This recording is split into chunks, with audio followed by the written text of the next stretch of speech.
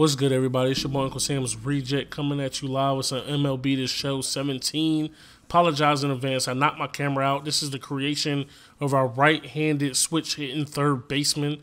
Um, what we're going to focus on with him. You know, we want him to be more of a power guy. So, uh, giving these points out and uh, early on, we'll do two contact, two power, and one fielding. You know, because you still have to be a pretty slick fielding third baseman.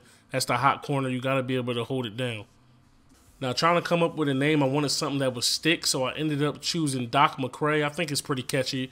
We're going rock number 22, which is the number I actually wear in real life in baseball. And secondary position is going to be first base. You know what I'm saying? Uh, most third basemen are able to play first and vice versa.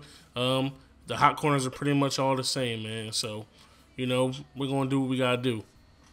Now, when it comes to his physical appearance, we want him to be a big dude. So we're going to go ahead and make him 6'5", 250 of the fatter uh, body type, you know what I'm saying? I want him to be a big Pablo Sandoval wall type, you know what I'm saying? So we're going to go ahead, rock out with the mohawk, the blonde mohawk, and then we're going to go ahead with the backwoods chic uh, beard, you know what I'm saying?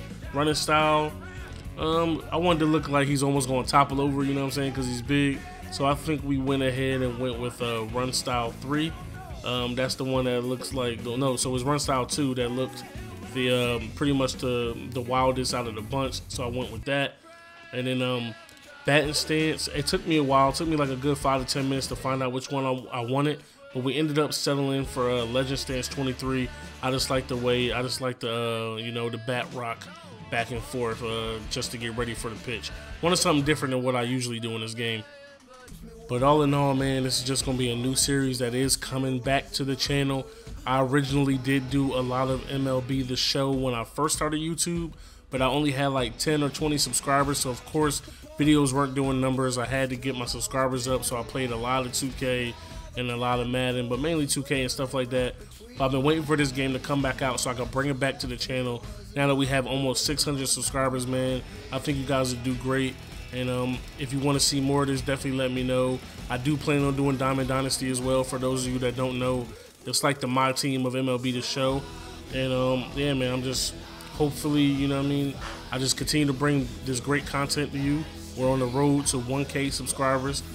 Thank, thanks to all of you guys that have been loyal. You know, all my day ones, and I'm talking day ones from people who have been here since like my first 10 or people that have rocked with me ever since they found my channel.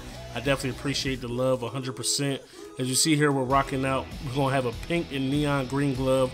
We want to stand out as much as possible and hopefully have our play match our wardrobe. So if you guys enjoy this video, hit me up in the comment section below. Don't forget to smack that like button for me. Subscribe if you're new for more great content. More is coming. It's on the way. I promise and guarantee you that. It's your boy Uncle Sam's Reject, arcadegames.com. I'm out this bitch. Peace.